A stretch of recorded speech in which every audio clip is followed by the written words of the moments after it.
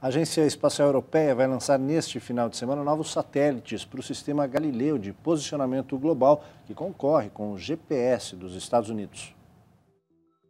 Sistemas de rastreamento em tempo real desempenham um papel importante em nosso cotidiano.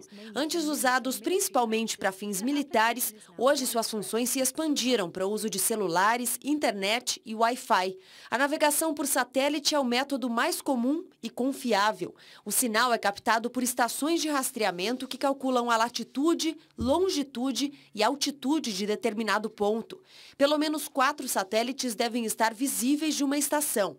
Os exemplos mais mais conhecidos dessa tecnologia são o Sistema de Posicionamento Global, o GPS, dos Estados Unidos e o Galileu da Europa. A precisão deles chega a ser de apenas 15 metros. Muito usado para navegação em veículos, o GPS também é comum em companhias de transporte que rastreiam a localização exata de caminhões, trens, navios e aviões 24 horas por dia. O sistema também torna possível monitorar criminosos que estão em liberdade condicional graças a marcadores eletrônicos, mas são os celulares móveis que trazem mais possibilidades de uso.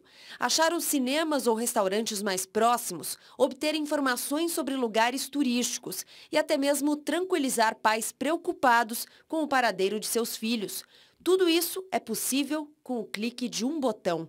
O rastreamento por satélite também é usado nas redes sociais. Se o usuário ativa essa opção, seus contatos podem ver a localização da pessoa em tempo real. Até as agências de publicidade se apropriaram da tecnologia. Explorando seu potencial lucrativo, elas começaram a usar o sistema para enviar propaganda aos usuários conforme eles se aproximam de lojas que vendem seus produtos.